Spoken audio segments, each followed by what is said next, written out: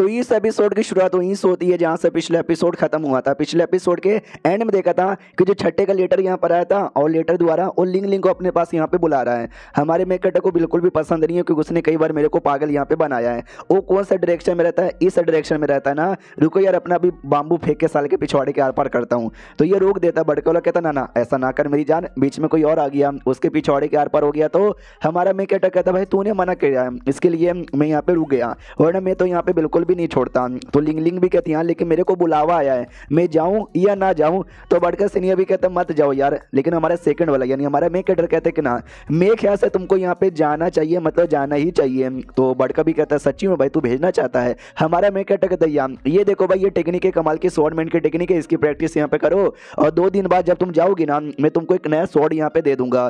तो वो भी कहती है, आपका बहुत ही ज़्यादा शुक्रिया, ये एहसान में नहीं बोलूँगी। हमारा मे कैटर भी कहता कोई एहसान की बात नहीं है, जाओ जाके प्रैक्टिस यहाँ पे करो। तो बड़का सीनियर भी कहता है ओहो, यार तूने तो सामने से उसको स्वॉर्ड की टेक्निक दी और स्वॉर्ड देने का भी वादा यहाँ पे किया है। मुझे भी दे ना, हमारा मैं कहते कहता, ये ले साले। इतना बोल के भाई मुक्का मार देता है। बड़का भी लाइक गद्दारी कर साले मेरे साथ।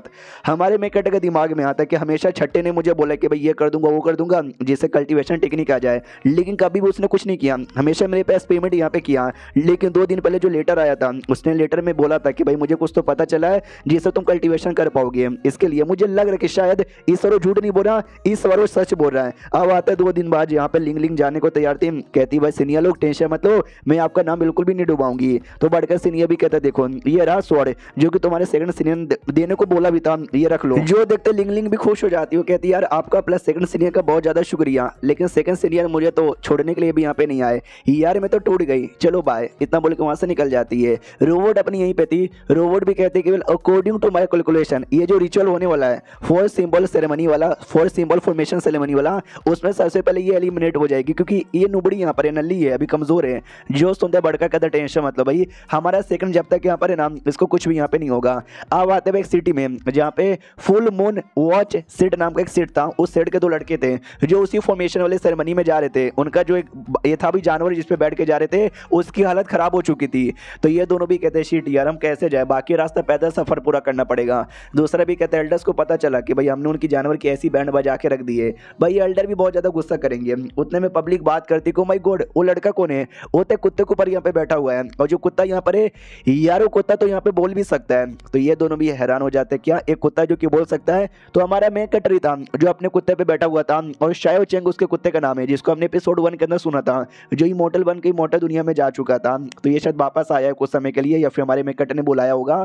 तो वो चिल्लाता भी हमारे मेकट भी साले कि मैं घोड़ा नहीं हूँ, मैं कुत्ता यहाँ पर हूँ। ऐसे मत बैठ। यार, मेरा अपमान यहाँ पर होता है। हमारा मेकट भी कहता है कि नहीं, मैं तूने यही बोला था ना कि भाई तुझे इलाइटमेंट मिल चुका है, तू इमोटल यहाँ पे बन चुका है। यानी तू मौंट बनने के सबसे सही लायक है। और बंदे लोग मौंट की सवारी करते इसलिए मैं तेरी सवारी सवारी कर रहा हूँ। ये दोनों लड़के देखते कि वाओ, हमारे बीच के तो ऐसे भी बैंड बच चुकी है। ऊपर ये डॉग है ना, मुझे लगता है इसको इलाइटमेंट मिल चुके तभी तो इंसानों की भाषा भी बोल सकता है। चलो यार, इसको हम अपना बना लेते हैं। तो जो डॉग है ना, वो हमारे मेकट को ताना मारते कि एटलीस्ट मैं उड़ तो सकता हूँ, वरना कुछ लोग नल्ले हैं जो ना कल्टिवेशन कर सकते हैं। नहीं उड़ सकते हैं। तो हमारा मेकटा गुस्सा कहता है, क्या साले तूने मेरे को ताना मारा है? तो उड़ सकता है तो क्या? तूने क्या यहाँ पे उखाड़े लिया? डॉग भी कहते, साले, मेरे को परेशान मत कर। उतने में वो दोनों आते हैं और कहते, भाई साहब, तुम्हारा डॉग बहुत ही अच्छा है, बेचोगे क्या? तो हमारा मेकट अभी देखते हैं, साले, कौन है जो मेरे साथ बदतमीजी करने आया है? तो वो दोनों आगे आते हैं और कहते हैं, भाई, हम यहाँ पर हैं, जो तुम्हारा डॉग यहाँ पे बाई करना चाहते हैं। हमने देखा, तुम्हारा डॉग बड़ा कमाल का है। अगर तुमने डॉग को कल्टिवेशन करने का मौका यहाँ पे दिया ना, वो पक्का ही मॉडल बन के हमारे साथ ही मोटर दुनिया में जा सकता है। लेकिन दोबारा पास यहाँ पे रहा, वो कभी भी कल्टिवेशन यहाँ पे नहीं कर पाएगा।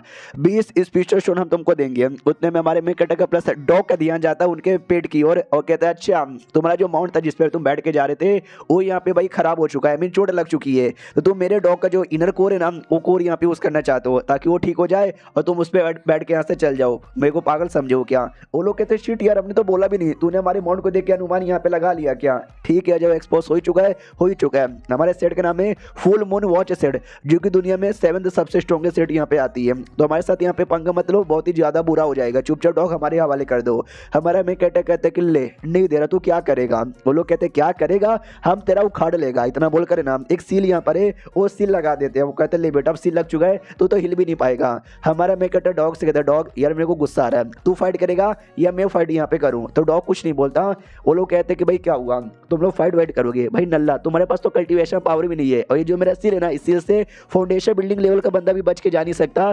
तो तेज ऐसा बंदा क्या ही बचेगा? हमारा मैं बच जाता है। और कहते, डॉग, यार, बहुत ज़्यादा अनोइंग यहाँ पर है। जल्दी से मार तो डॉग भी लड़ने को पूरा तैयार हो जाता है। तो वो बंदे भी डर जाते करे बाप रे ये तो डॉग लड़ने को तैयार है। हमारा डॉग ना अपने पंजों से हमला कर देता है तो बंडे की बैंड बच जाती है। वो भी कहते माई गोड यार हमको लगा ये डॉग बस हल्का सा स्पेशल होगा लेकिन ये डॉग तो कुछ ज़्यादा स्पेशल यहाँ पर है। चलो यार हमको कुछ और यहाँ पे करना चाहिए। यार एक, काम करते उसके मालिक को पकड़ लेते हैं। मालिक बस एक नॉर्मल सा मोटल यहाँ पर वो क्या ही बिगाड़ सकता है। डॉग भी कहते साले यार कुछ भी बोलता तो चलता। मोटल बोलना नहीं चाहिए तो तुम तो गया। हमारे में कड़े को सच्ची में बहुत ज़्यादा गुस्सा आता है। डॉग को यहाँ पे लेता और डॉग को लिटरली कूड़ा बनाकर ना सारे बंदे लोग को यहाँ पे मारता है और गुस्सा करता है। कभी भी किसी भी मॉडल को अंडर एस्टिमेट नहीं करने का, समझ गए क्या? तो डॉग भी लाइक अरे यार, लेकिन मेरे को कहीं को तोड़ा, मैंने क्या बिगाड़ा था यार? अब यहाँ पे आते भाई, कुछ समय बाद उस एरिया में, जिस एरिया में वो फॉर्मेशन सेरेमनी के लिए रजिस्टर करवाया जा रहा था और अपनी लिंक लिंक भी रजिस्टर करवाने के लिए लाइन में खड़ी थी, ये दोनों भी जैसे तैसे आ जाते कहते बाप रे साले ने बहुत हमको मारा। अगली बार मिलेगा ना, हम बिल्कुल भी नहीं छोड़ेंगे। तभी पीछे से ब्राइट मून सेट के तीन डिसाइपल आते जो इन दोनों का मज़ाक उड़ाते हैं, ये कहते कि एक सेकंड तुम तो भाई फुल मून वॉच सेट के मेंबर यहाँ पर हो ना। अरे यार नहीं, हमने चेहरा नहीं देखा था। हम बोला कोई भिखारी यहाँ पर होगा। यह तुम्हारी हालत ऐसे कैसी हो गई? तुम्हारे मुँह के ऊपर कुत्ते के पंजे के भी निशान है। एक कुत्ते ने ऐसी हालत यहाँ पे कर दी, शर्म करो भाई, शर्म करो। तो वो दोनों भी कहते, सुनो सेवन अलायंस सेट नाम का जो सेट आता है ना, उसमें तुम्हारा भी सेट आता, मेरा भी सेट आता। यानी हम सब लोग एक ही सेट के अंडर में बिलोंग करते हैं। तो भाई ऐसा हमारा मज़ाक मत उड़ाओ। पहले हमारा मज़ाक बहुत ज़्यादा उड़ चुका है। वो लोग कहते उड़ाएँगे, तू क्या करेगा?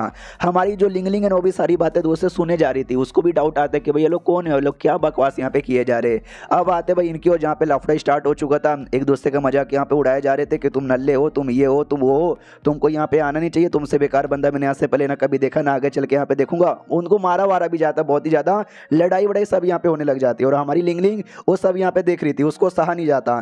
तो वो भी चिल्लाती, बस करो, तुम लोग ऐसे कैसे मार सकते हो? तो उनका ध्यान भी जाता कि एक सेकंड तुझे तो हम यहाँ पे जानते भी है। अबे लिंग लिंग तेरा नाम है ना, जिसको हमारे सेट वालों ने धक्के मार के निकाल दिया था, क्योंकि तेरे पास बहुत ही ज़्यादा बेकार। गुड फॉर नथिंग स्पीचर रूट है। यार, हमको लगा था ना, जैसे हमने तुझे सेट से बाहर यहाँ पे निकाला, तू गई होगी किसी कोठे की मेंबर यहाँ पे बन गई होगी, क्योंकि तो कोठे की मेंबर बन के अपनी ज़िंदगी गुजार सकती है। कल्टिवेटर बन के तो नहीं, क्योंकि तू नल्ली यहाँ पर है। वो भी कहती, बस करो, सालो अपनी औकात में यहाँ पे रहो। मुझे सेट से निकालने गया था, मैंने सेट यहाँ पे छोड़ दिया, क्योंकि तुम लोग बचपन से मुझे परेशान करते हो, हमेशा मुझे टॉर्चर करते हो, जो मुझे बिल्कुल भी सहना नहीं था। ये लोग कहते, चल चल चल। वो तुम्हारे सेट ही बढ़िया था, जिसने तुझे निकलने का मौका यहाँ पे दे दिया। वरना तेज जैसे बंदे को हम सेठ की नौकरानी बना के भी अटीट यहाँ पे कर सकते थे। ये भी कहते, साले औकात में रह लो। वो लोग कहते, क्या हुआ? मारूगी क्या? मारू मारू, मारो। अरे यार तो बच्ची यहाँ पे रोने वाली है। उतने में अनाउंसमेंट होता, सुनो सुनो सुनो सुनो सुनो। फोर्थ सिंबल फॉर्मेशन सेरेमनी का जो भी रजिस्ट्रेशन है ना, वो कुछ समय बस क्लोज हो जाएगा। तो लड़ाई झगड़ा बंद करो, और चुपचाप यहाँ पे ध्यान दो। और ये चैप्टर यहीं पर खत्म हो जाता है। तो हम मिलते हैं किसी और वीडियो में, जब तक के लिए बाय बाय